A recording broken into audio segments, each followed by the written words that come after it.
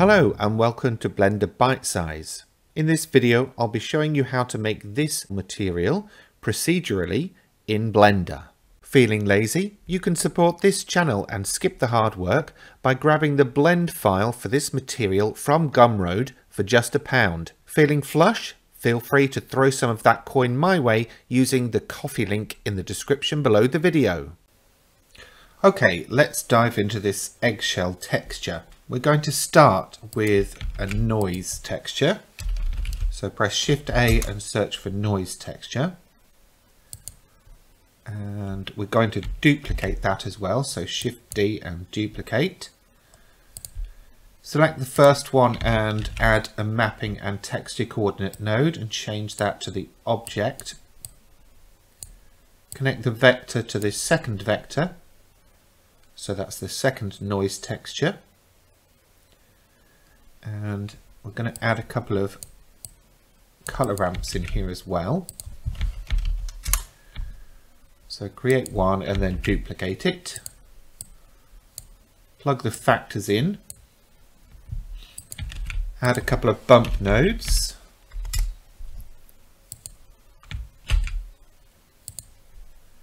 And plug the colours into the height of each.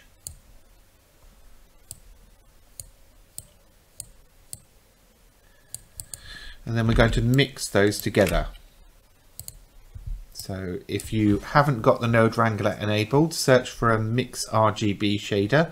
Otherwise, press Control Shift, right click on one of them and drag that up to the other to automatically add the Mix RGB leave it set at mixed and plug that into the normal. Now I have already got my object loaded. I'm in the shading tab and I will enable viewport shading and that's connected to the principled shader that was already in position. Uh, specular we're going to put let's say at around 0.15 roughness Mm, let's say 0.35 and then we need to add some color as well and change some of these parameters. For the first noise texture we'll change the scale to 125 and the roughness to 0.35. We're going to move the black slider over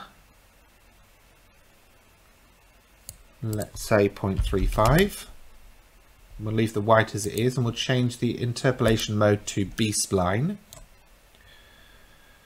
on the bottom one we're going to go for a scale of 50 detail of 5 and roughness of 1 and you can see how it's refining that texture. We're going to drag the black slider across to about there. Change the interpolation mode to B-spline and drag the white in so that they almost touch. If I zoom in on that, you'll get a better idea of how it's looking. So it's got a very bumpy texture.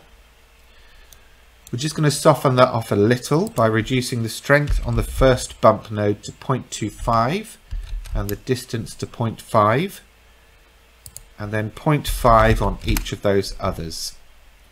We don't need to invert it. I must have done that by mistake. And that's the basis of the actual texture itself. Now we need to add some colour and some details. So we're going to add a Musgrave texture.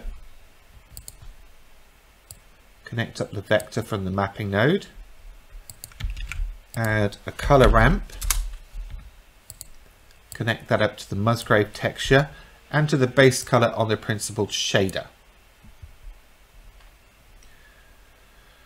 Scale we're going to set at 25 and leave everything else set at 2. Now we're going to change some of these colors. So I need um, the hex code for eggshells. So let's put that here. F0EAD6. It's kind of a rough eggshell color.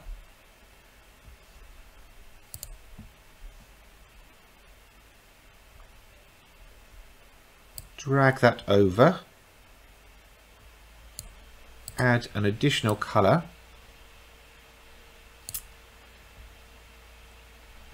let's copy that hex code.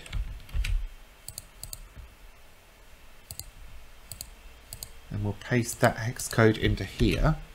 But we're going to drop the value a little bit. So let's say 0.65 do the same for this one.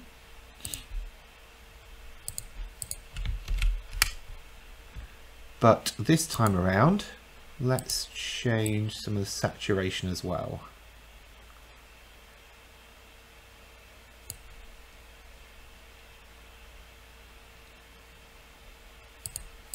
Maybe I need to drop the value here just a little bit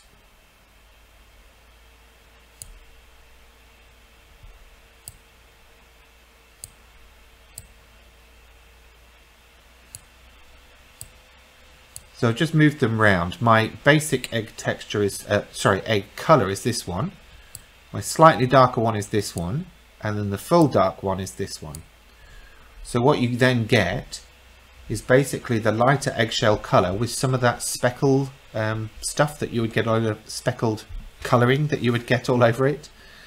Um, and that's about it really, to be honest. There's not much else to show you here. So that's your full node tree and we will send that to render using the Cycles render engine.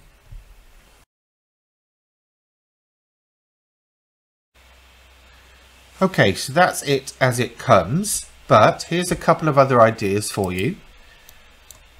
We can crank up the subsurface to 1, paste in our egg colouring uh, hex code, and then drop the value a bit increase the saturation a bit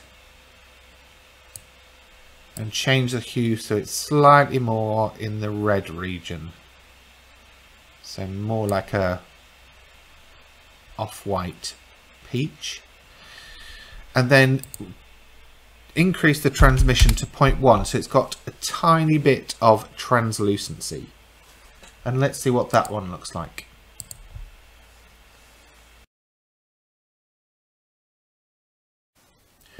Okay, and there's the final render on that one, which looks slightly more realistic as it's got much more translucency.